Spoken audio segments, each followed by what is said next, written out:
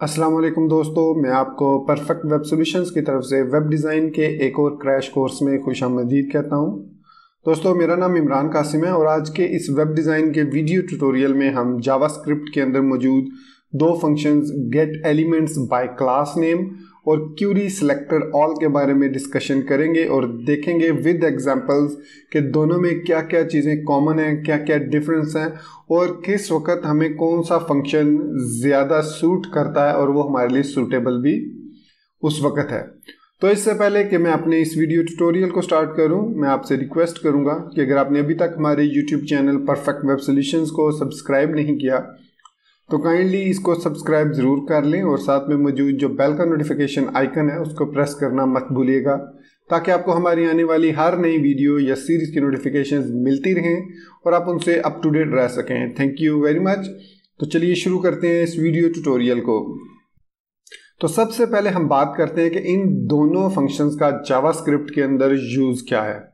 तो दोस्तों, इन दोनों फ़ंक्शंस की मदद से हम ग्रुप ऑफ़ एलिमेंट्स को फेच कर सकते हैं मतलब एक एच एम एल एलिमेंट्स की कलेक्शन को in the form of array array की फॉर्म में हम ऐड कर सकते हैं कलेक्ट कर सकते हैं by using get elements by class name और by using query selector all अब जो डिफरेंस है, वो ये है कि जो get elements by class name है, वो हम सिर्फ़ और सिर्फ़ एच टी एम एल के एट्रीब्यूट क्लास के ज़रिए एक्सेस कर सकते हैं। अगर हमने किसी H T M L element या ग्रुप ऑफ़ एलिमेंट्स को एक्सेस करना है, और उनको हमें सबसे पहले सेम क्लास नेम देना होगा, तब ही हम उनको get elements by class name की मदद से एक्सेस कर सकते हैं।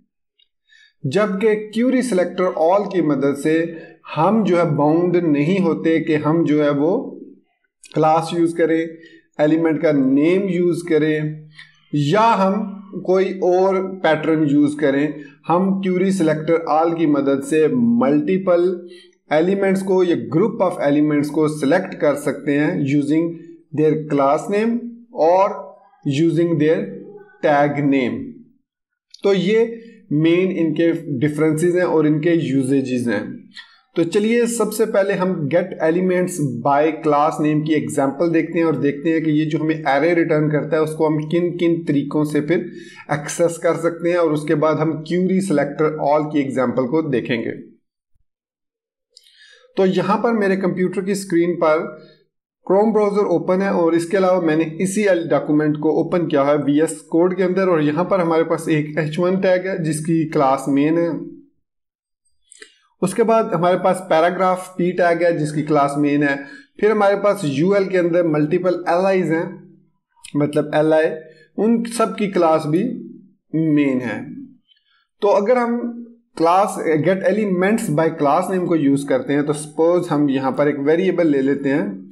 Let collection is equal to document dot get elements by class name और फिर हम यहाँ पर यूज़ कर सकते हैं मेन को। अब जैसे ही हमने ये लिखा, अब हमारे पास जिस जिस एलिमेंट के अंदर मेन क्लास यूज़ हो रही होगी, उसका जितना भी कंटेंट है, जैसे ये है ये है और ये है, वो हमारे पास in the form of array आ जाएगा या H T M L collection हम उसको कह सकते हैं। H T M L collection हमारे पास आ जाएगी। दूसरा अगर हम यहाँ पे लिखते हैं let collection 2 is equal to document dot query selector all. और इसके अंदर अब अगर हमने मेन क्लास को यूज़ करना है तो डेफिनेटली हमें डॉट ऑपरेटर लाजमी यूज़ करना होगा। तब ही क्यूरी सिलेक्टर आल को पता चलेगा कि हमने इस डॉक्यूमेंट के अंदर मौजूद तमाम ऐसे एलिमेंट सेलेक्ट करने हैं जिनकी क्लास मेन है। अब ये दोनों जो हैं, ये दोनों ग्रुप ऑफ़ एलिमेंट्स को मतलब कलेक्ट करेंगे। Get elements by class name H T M L elements को एक्सेस करता है मतलब H T M L collection create करता है, जबकि क्यूरी सिलेक्टर ऑल जो है, वो नोड लिस्ट क्रिएट करता है। अब नोड लिस्ट और H T M L elements में कोई इतना डिफरेंस नहीं है, ये दो डिफरेंट डाटा टाइप्स आप कह सकते हैं इनको। जिसकी फॉर्म में वो हमें रिटर्न करता है डाटा अगर यहाँ पर मैं माउस होवर करता हूँ get elements by class name में तो ये कहता है कि document dot get elements by class name जो है वो H T M L collection of elements हमें रिटर्न करता है। जबकि अगर मैं क्यूरी सिलेक्टर ऑल पर माउस होवर करता हूँ तो ये कहता है कि parent node dot query selector all element node list of elements plus two overloads. मतलब ये हमारे पास node list of elements create करता है और इसकी मदद से हम मल्टीपल एलिमेंट्स को भी फेच कर सकते हैं। अब ये दोनों तो हमने एक्सेस कर लिया अब इनको यूज़ करने का तरीका दोनों को वो सेम है। तो सबसे पहले मैं कलेक्शन वन को यूज़ करते हुए जितने भी एलिमेंट्स हैं उन तमाम का कलर जो है वो रेड करना चाह रहा हूँ। C S S L apply करना चाह रहा हूँ। तो मैं इसके लिए यूज़ कर सकता हूँ कुछ इस तरीके से। अब चूँकि ये एरे ऑफ़ एलिमेंट्स रिटर्न करता है तो मैं dot is into zero dot style dot bag sorry colour is equal to red करूँगा। तो जो फ़र्स्ट एलिमेंट होगा इस कलेक्शन में, उसका कलर रेड हो जाएगा। अब यहाँ पर फ़र्स्ट हमारे पास एचटीएमएल एलिमेंट जो है, जिसको मेन क्लास दी गई है, वो एच वन है।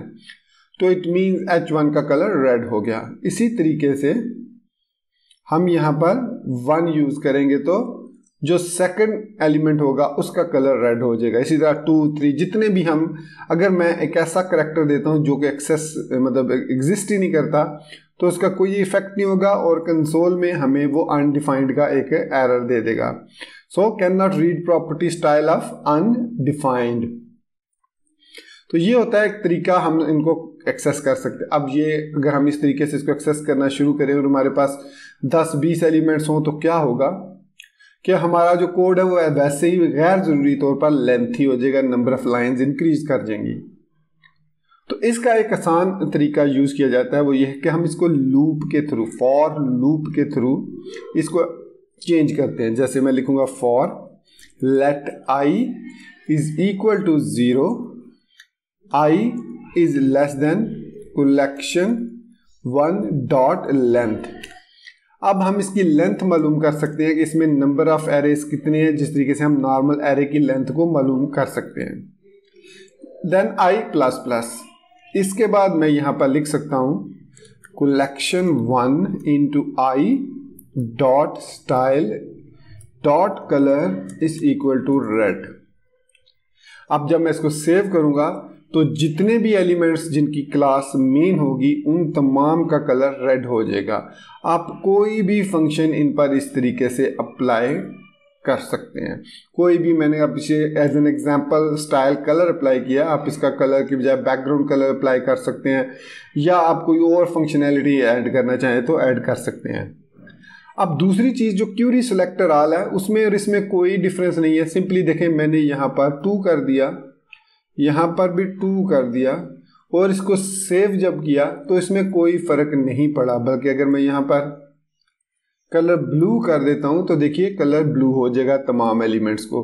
तो देख सकते हैं आपके एक्सेस करने में हमें ना ही get element by class name और ना ही क्यूरी सिलेक्टर ऑल के लिए कोई चेंज करना पड़ा अपार्ट फ्रॉम द वेरिएबल अगर इन दोनों की लेंथ सेम हो तो मैं यहाँ पर इनको इस तरीके से भी लिख सकता हूँ। ये देखिए कलेक्शन वन या टू दोनों की लेंथ मालूम करूँ? अगर मुझे पता है कि दोनों की सेम है। So collection one into I dot style dot background colour is equal to yellow तो जब मैं इसको सेव करूँगा तो देख सकते हैं कि तमाम एलिमेंट्स जिनकी क्लास मेन है, उनका बैकग्राउंड कलर येलो हो चुका है और कलर जो है वो ब्लू है। अब यहाँ पर दोस्तों, जो नेक्स्ट चीज़ आती है, वो ये है कि हम जो है वो क्यूरी सिलेक्टर आल की मदद से डायरेक्ट एलिमेंट्स को भी टारगेट कर सकते हैं। तो यहाँ पर मैं लिख सकता हूँ एल आई अब अगर मैं इसको सेव करूँगा तो तमाम जितने भी हमारे पास एलिमेंट्स हैं other than L I elements उन सब का मतलब यहाँ पर मैंने कलर जो है ब्लू सिर्फ़ और सिर्फ़ अप्लाई किया है कलेक्शन टू पर तो सिर्फ़ और सिर्फ़ एल आई का कलर जो होगा वो ब्लू होगा। बाकी सब का कलर जो है वो ब्लैक रहेगा, लेकिन बैकग्राउंड तमाम के तमाम का येलो हो जाएगा। सेव किया। तो आपने ये देखा कि यहाँ पर उसने कलेक्शन अब ये यहाँ पर प्रॉब्लम ये आई है कि जो हमारे पास लेंथ है कलेक्शन वन की, वो ज़्यादा है और जो कलेक्शन टू की लेंथ है वो हमारे पास कम है। तो इस सूरत में हमें क्या करना होगा? हमें अलग से लूप लगाना होगा ताकि हमारा जो एरर ना आए। अब इस सूरत में इसने यहाँ पर ये देखिए अनडिफाइंड का एरर दे दिया। ठीक हो गया? तो अब मैंने यहाँ पर इसको ख़त्म कर दिया सेव किया। तो तमाम का बैकग्राउंड येलो हो गया। अब मैं यहाँ पर नेक्स्ट लूप लगाता हूँ। For let z is equal to zero z is less than collection two dot length z plus plus और यहाँ पर मैं collection two into G dot style dot colour is equal to red कर देता हूँ। अब मैं इसको सेव करता हूँ। तो अब आपने देखा कि तमाम एलिमेंट्स का बैकग्राउंड कलर येलो है, लेकिन कलर जो है बैकग्राउंड के बजाय कलर रेड जो है, वो सिर्फ़ एल आई एलिमेंट्स का है। तो क्योंकि हमने एल आई एलिमेंट्स को एक्सेस किया है। इसी तरीके से अगर मैं ये यू एल को क्लास असाइन कर देता हूँ मेन की, इस यू एल को मेन और इनको मैं कोई क्लास नहीं देता।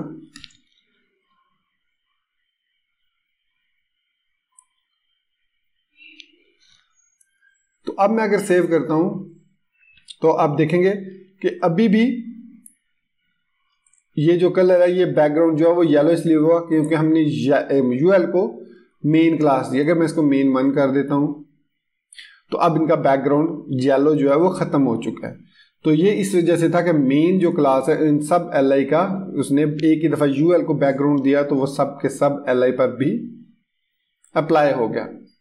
अब यहाँ पर जो मैं चीज़, यहाँ पर मैं मेन करता हूँ चीज़ बताना चाह रहा हूँ। अगर मैं मेन के अंदर मौजूद इंडिविजुअल एल को सिलेक्ट करना चाहूँ तो अब मैं get elements by class name की मदद से उसको सिलेक्ट नहीं करूँगा, बल्कि मैं यूज़ करूँगा क्यूरी सिलेक्टर ऑल इसलिए कि क्यूरी सिलेक्टर ऑल हमें पेरेंट नोड की मदद से चाइल्ड नोड्स को एक्सेस करने का फीचर प्रोवाइड करता है, जो कि get elements by class name में मौजूद नहीं है।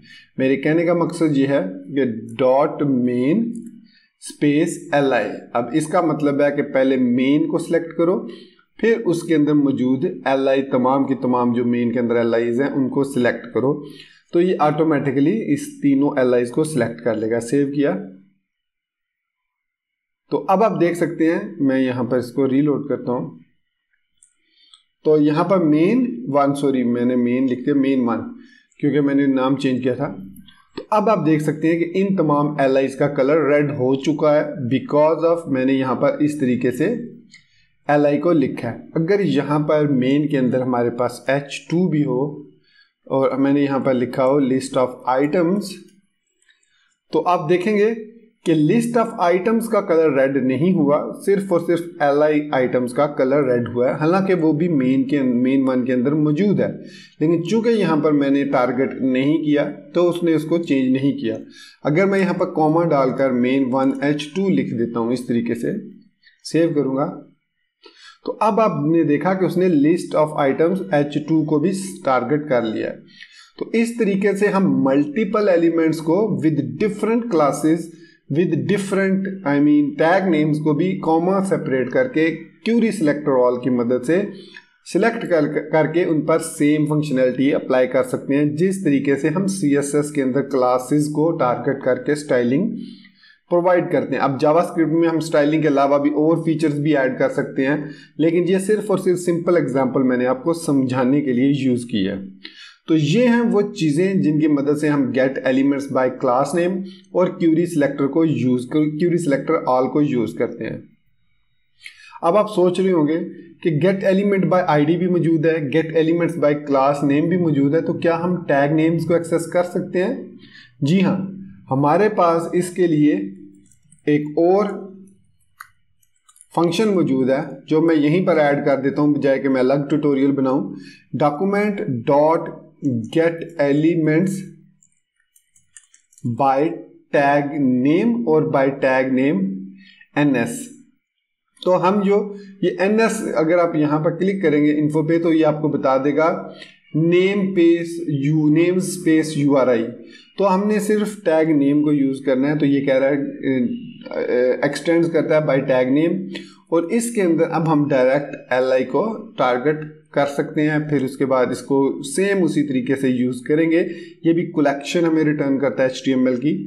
और उसी तरीके से हम लूप के थ्रू या सिंगल एलिमेंट के थ्रू हम उस पर जो भी अप्लाई करना चाहें जैसे ये हमारे पास अब डेफिनेटली ये जो है हमें रिटर्न करेगा। चार ए, तीन एलिमेंट्स एक दो तीन एलिमेंट्स और हम उसको जो भी लूप के थ्रू अप्लाई करना चाहें जैसे मैं लिखता हूँ for let y is equal to 0 y is less than collection 3 dot length, y plus plus. और यहाँ पर मैं इस पर जो भी फंक्शनैलिटी अप्लाई करना चाहूँ, जैसे कि मैं लिख सकता हूँ collection three into Y dot style dot font weight is equal to nine hundred मैं इस तरीके से अप्लाई कर देता हूँ। तो आपने देखा कि हमारे पास जो एल आई थी, उनका फॉन्ट वेट जो है वो अब 900 हो चुका है। मैं यहाँ पर क्लिक करता हूँ। तो ये आप देख सकते हैं कलर रेड और फॉन्ट वेट 900 आपको नज़र आ रहा होगा कि तमाम की तमाम एल जितनी भी हमारे पास एल हैं, तीन एल हैं, तीनों एल का फॉन्ट वेट वेट 900 और कलर रेड हो चुका है। तो ये है हमारे पास get elements by class name versus query selector all और इसके अलावा हम get elements by tag name भी यूज़ कर सकते हैं to fetch to target the elements inside your H document तो दोस्तों, ये था हमारा आज का वीडियो ट्यूटोरियल कि किस तरीके से हम get elements by class name get elements by tag name और क्यूरी सिलेक्टर ऑल को यूज़ करते हुए एच डॉक्यूमेंट के अंदर मौजूद एलिमेंट्स को टारगेट कर सकते हैं, फिर उन पर जावास्क्रिप्ट के थ्रू डिफरेंट फंक्शनैलिटी परफॉर्म कर सकते हैं। तो इसी बात के साथ मैं आपसे इजाज़त चाहूँगा और उम्मीद करता हूँ कि आपको मेरा ये वीडियो ट्यूटोरियल पसंद आया होगा और आप इसको लाइक करना शेयर करना और हमारे YouTube channel Perfect Web Solutions को सब्सक्राइब करने के साथ साथ बेल का नोटिफिकेशन आइकन प्रेस करना बिल्कुल नहीं भूलेंगे। तो इसी बात के साथ दोस्तों, मुझे अपनी दो में याद रखिएगा। Thank you very much for being with me till the end. Take care, goodbye, and Allah Hafiz.